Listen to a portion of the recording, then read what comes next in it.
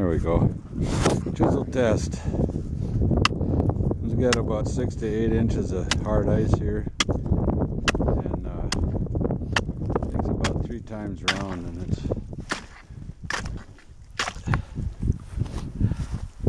and we're just testing the depth in the lake for a little ice fishing.